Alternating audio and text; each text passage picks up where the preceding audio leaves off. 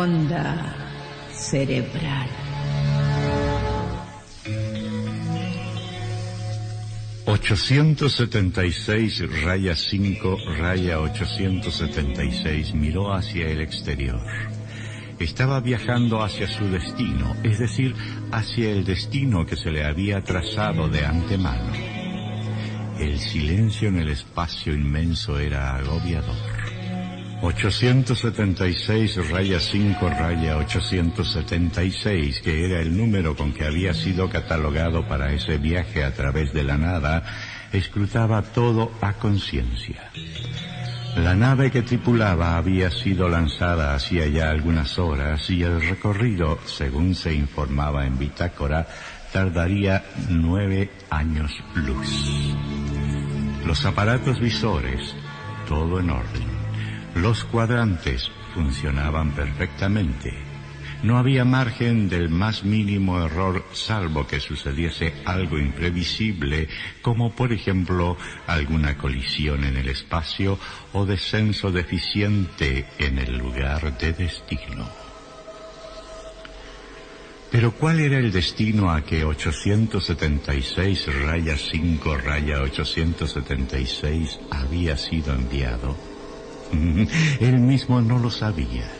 Simplemente debía obedecer la orden superior emanada en el mundo del cual él provenía de un ignorado y poderoso Dios, sin duda alguna.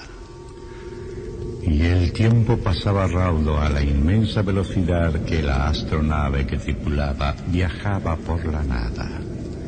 Súbitamente captó la orden a través de los audioacondicionadores. 876, raya 5, raya 876. Prepárate, tu viaje está a punto de concluir. Cierra tu mente, serás anulado hasta que hayas llegado a tu destino. Buena suerte, 876, raya 5, raya 876.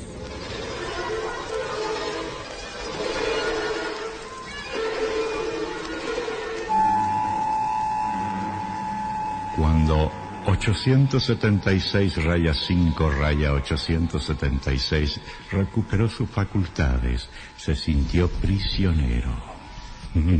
Tengo que decir aquí que este personaje poseía ojos como los humanos, cuerpo como los humanos y era en todo semejante a los humanos, pero ninguno de sus sentidos humanos funcionaba. 876 raya 5, 876, como todos los del mundo de donde él provenía, era telépata, de manera que nuestro protagonista captó de inmediato su situación. Por medio de su poder mental se comunicó con la onda correspondiente a su superior jerárquico. Misión cumplida. Destino abordado. Aguardo órdenes. Bien, 876, raya 5, raya 876. A contar de este momento, deberás valerte por ti mismo. No puedes contar para nada con nosotros, que en nada tampoco podríamos auxiliarte. Nuestra misión está cumplida. Adiós. 876, raya 5, raya 876. Un momento. Un momento. Esto no lo entiendo, superior. ¿A qué he sido enviado a este mundo extraño para mí? Es la ley 876, raya 5, 876. Millones como tú llegan en estos momentos a sus respectivos destinos en los mundos que se les han asignado. Eso lo comprendo, pero ¿qué tengo que hacer aquí? Lo sabrás por ti mismo cuando llegue el momento. Nuestra tarea ha sido cumplida. Cumple con la tuya, que para eso ha sido creado. Adiós.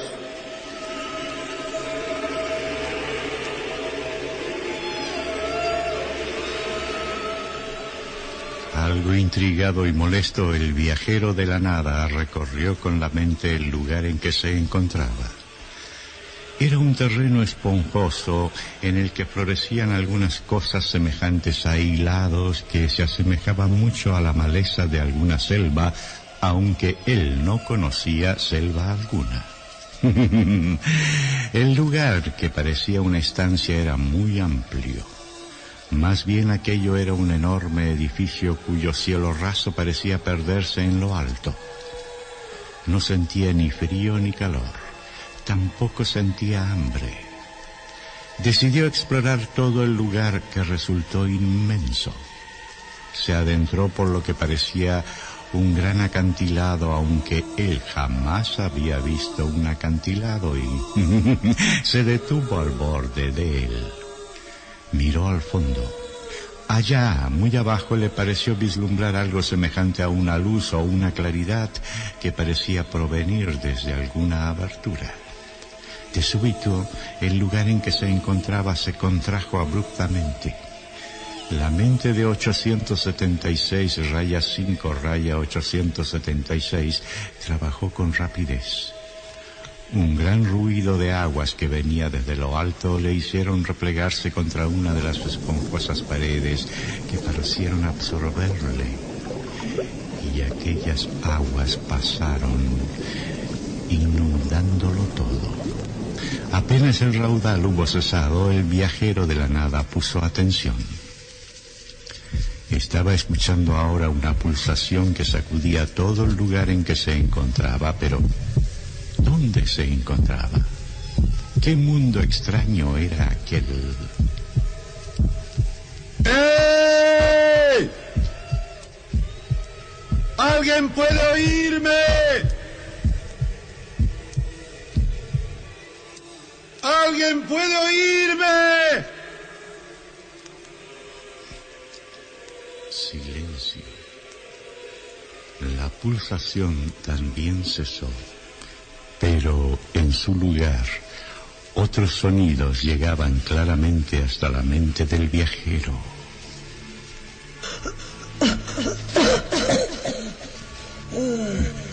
Maldijo el no haber traído consigo algún arma para defenderse. ¿Defenderme de qué?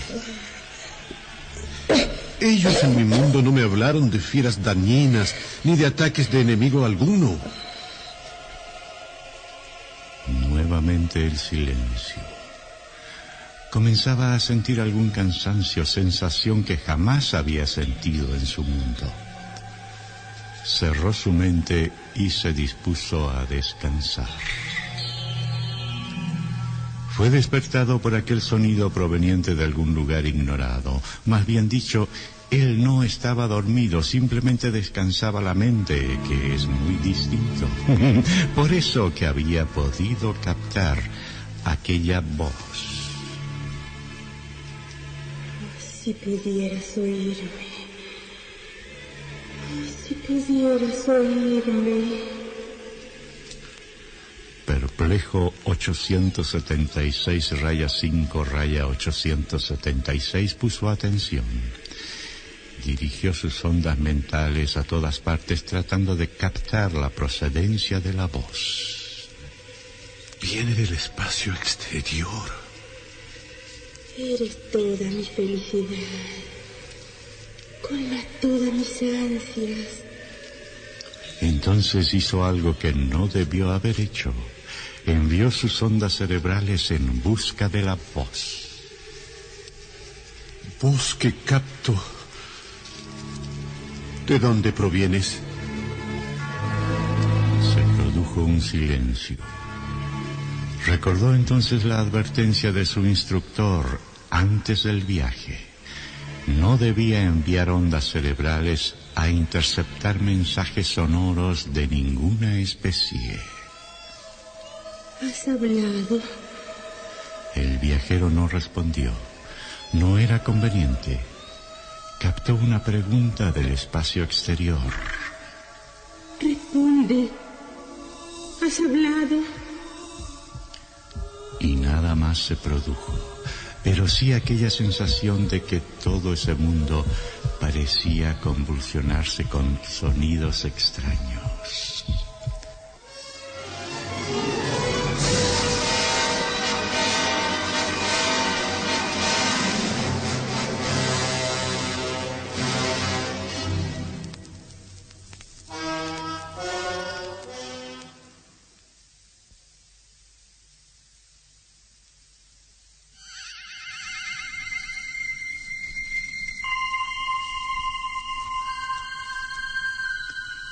Para 876 raya 5 raya 876 pasó una milésima de millonésima de segundo.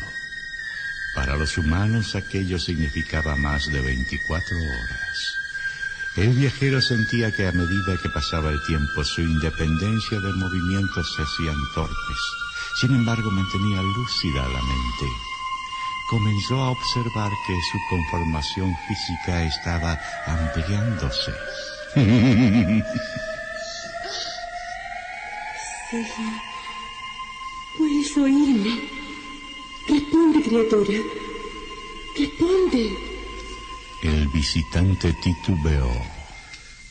Sé que estás ahí. Tengo que saberlo. Pero no eres oído voz o solo fue una ilusión. Se produjo un silencio. No. No ha sido una ilusión. Estoy aquí. ¿Quién eres? ¿Desde qué mundo me hablas? Pues yo... Oh, qué alegría me das. Sabía que no podía equivocarme. Al fin has llegado. ¿Puedes decirme quién eres tú?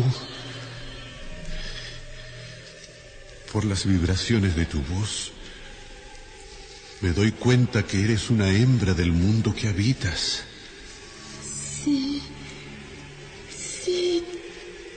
Tienes razón. Entonces se produjo una interferencia en la onda cerebral que 876 raya 5 876 captaba. Intentó agudizar los circuitos cerrando unos y dando más poder a los de percepción, pero no pudo anular la interferencia. Pensativo, el viajero cerró su mente y descansó.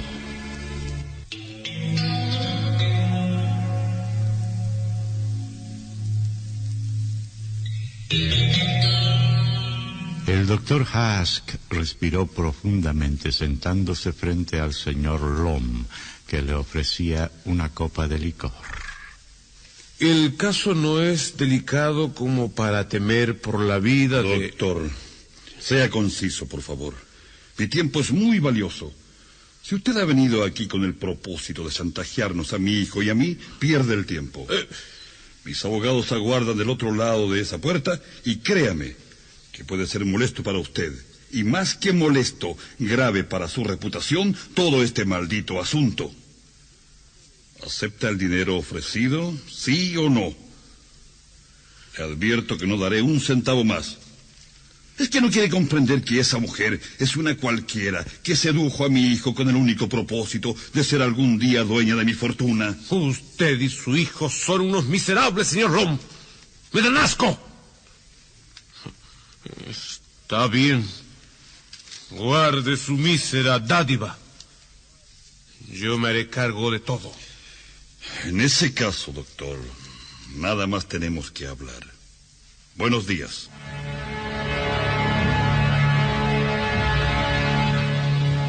Puedo captarte perfectamente ahora. ¿Cómo te llamas? Sara, Sara. Hermoso nombre. El mío es... Es... Vaya. Creo que mi nombre entre los seres humanos, como tú los llamas, es solo una cifra. No, no. Tres cifras. 876 raya 5 raya 876. ¿Por qué? pues no lo sé.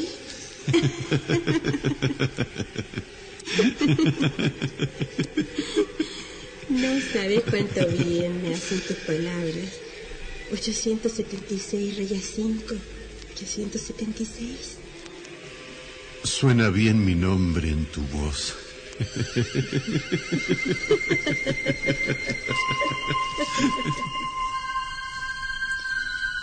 Y fue pasando el tiempo. 876 raya 5 raya 876 se sentía cada vez más poderoso, pero al mismo tiempo se daba cuenta que estaba dependiendo demasiado de aquel lugar en que se encontraba, sin poder encontrar él una vía de escape. Había intentado innumerables veces desprenderse de esas paredes que parecían absorberle cada vez que había algún peligro, pero había sido inútil. El edificio en que estaba, si es que se trataba de un edificio, no le dejaba salir, y ahora menos que nunca. Se revolvió inquieto y cosa asombrosa. Su estructura física parecía no caber ya dentro del edificio. ¿Qué me está sucediendo? Decidió ponerse en contacto con la voz del espacio exterior. Sara. Sara, ¿puedes oírme? Oh, sí, sí, por supuesto que puedo oírte. Solamente yo puedo oírte. Me está sucediendo algo, Sara. No sé qué es. ¿Podrías explicármelo tú? Si me das detalles. Pues no sé bien qué me sucede. Yo llegué a este mundo desde mi mundo, que está distante muchos años luz de aquí.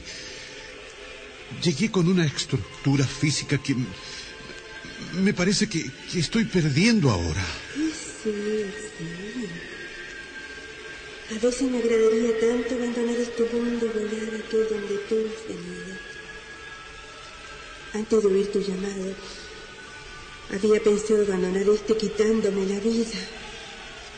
¿Quitarte la vida? Ya no ser. ¿Eso quieres decir? Sí. Sin embargo, ahora, ahora quiero vivir, pero siempre contigo a mi lado. Y así será. ¿Viviríamos tú y yo en este mundo? ¿En este edificio que, que ya me oprime? Oh, no. No, por supuesto que no. Y nuevamente aquella interferencia, pero ahora sucedía algo más. El edificio en que estaba estrechamente oprimido comenzó a estremecerse, tal vez a contraerse. Sí, sí, eso era. Se estaba contrayendo. El visitante sintió que las paredes comenzaban a exudar algo semejante a un líquido espeso y, no sin cierta inquietud, se dio cuenta que estaba comenzando a resbalar hacia el acantilado que había visto a su llegada a ese lugar. Intentó aferrarse con la mente de algo. Deseaba anular aquella situación. Atención. Atención. 876, raya 5, raya 876, llamando a superior. Atención, atención. 876, Nadie raya respondía 5, raya y él se 876, sentía poco a poco resbalar hacia aquel cono de luz que ahora le parecía más amplio que cuando vio aquello por primera vez. Atención. 876, raya 5, raya 876, llamando. Auxilio. Auxilio. No puedo contrarrestar esta situación. No pudo continuar, pues en ese instante un sonido explosivo hizo que un raudal de luz lo envolviera. El visitante se sintió empujado fuera del edificio en que se encontraba como una catapulta. Luego algo como tenazas poderosas le aprisionaron y la onda cerebral de su poder le hizo ver aquella cosa monstruosa, gigantesca que le alzaba en el aire. Aquella cosa era blanca como blanca era la parte superior de la cabeza y lo único que podía ver con su mente eran dos ojos enormes, muy grandes, como jamás viera en ninguna fiera de su mundo. 876 raya 5 raya 876 recurrió a todo su poder mental para zafarse de aquella tenaza que lo llevaba aún más arriba. ¡Atención! ¡Atención! ¡Auxilio! ¡Necesito ayuda! ¡Superior! ¡Necesito ayuda! Con la mente vio cómo el monstruo de cara blanca y dos ojos alzaba la otra tenaza y... ¡Auxilio! ¡Auxilio! ¡Ah!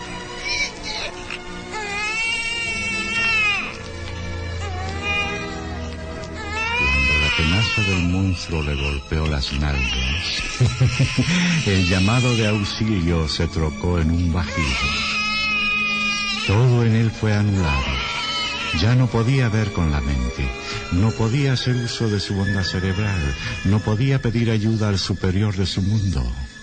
El viajero de la nada no podía discernir, pero si hubiese tenido por lo menos la facultad de oír, hubiese quedado mudo de asombro, pues una voz dijo...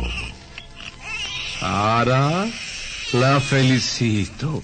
Acaba usted de dar a luz un hermoso varón. Gracias, doctor Cass. Gracias. Hijito, Hijo mío. Enfermera,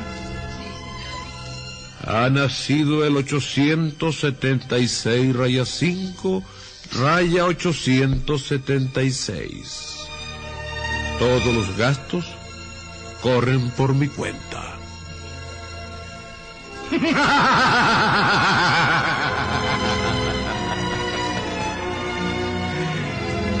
¿Se nace así? ¿De dónde venimos? ¿Cuál es nuestra procedencia? Eso se preguntan los humanos. Yo no.